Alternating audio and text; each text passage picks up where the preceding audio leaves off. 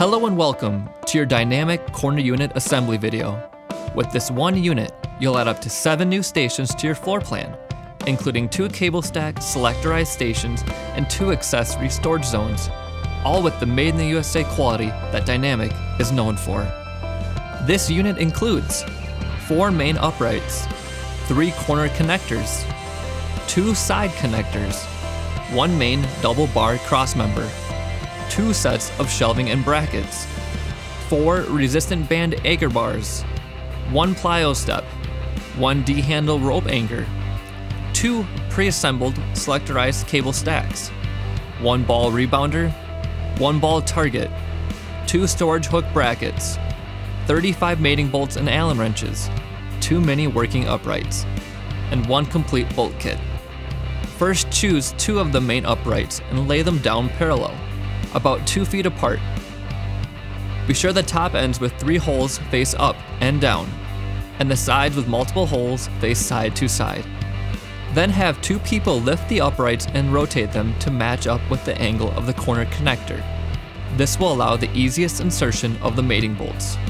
Continue in the same fashion with the middle and top corner connectors until all are attached with four mating bolts each. Tighten the mating bolts hand tight only. Do not tighten with wrenches until the very last step of the entire assembly process. Once all the mating bolts are hand tight, stand up the entire corner upright assembly. Next, lift the right side storage crossmember into place and fasten with mating bolt. Attach the right main upright. Repeat this step on the left side of the unit.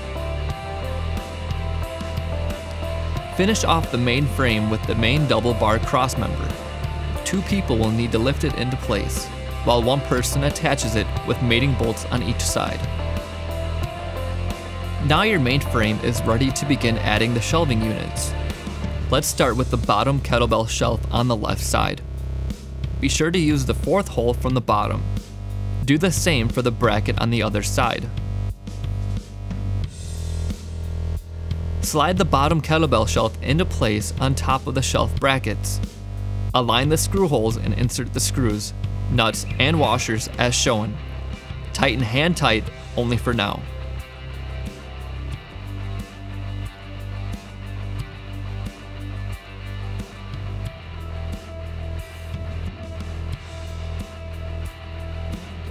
Attach the middle ball storage shelf next, starting with the brackets.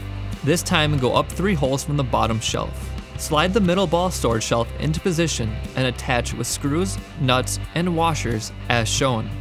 Repeat these steps with the top ball storage shelf. This time go up two holes from the middle shelf.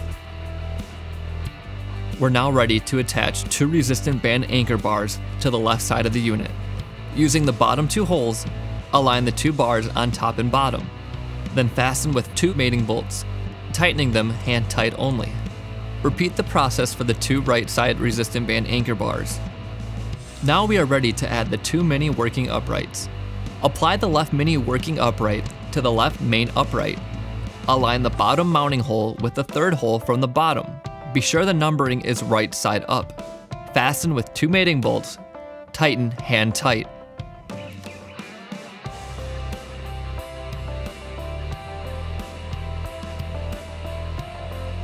We're now ready to attach the center ball target. The center ball target is heavy. Be sure to have at least two people help with this. Carry the ball target with the logo side down. Rest the base of the vertical support on the center corner connector. This will take the weight off while you align the holes for the mating bolts. Next, we will attach the two selectorized cable stack assemblies. The cable stack assemblies are the heaviest parts of the dynamic functional corner unit. These weigh over 300 pounds each, so at least two people will be needed to move these and lift them into place. The next step is sliding the assembly over to the corner upright and aligning it for attachment. This can be tricky with the weight of the assembly on a soft floor. Be sure to have enough people on hand to gently lift and slide the unit without damaging your flooring. Bolt the selectorized cable stack assembly to the corner upright using three mating bolts. Repeat the same procedure with the right side cable stack assembly.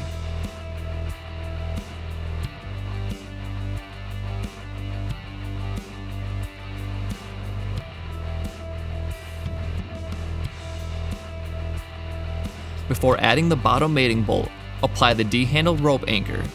It shares the lower bolt hole with the cable stack assembly. Next, we will attach the plyo step to the left side of the unit. Don't use your finger to align the holes. Insert the adjustment pin and the safety lock pin. We will attach the ball rebounder. Bolt the rebounder to the bottom of the upright. Next, we will square up the unit in preparation for tightening all the hardware.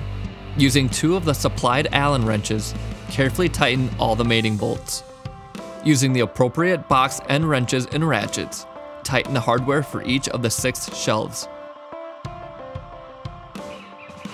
Congratulations!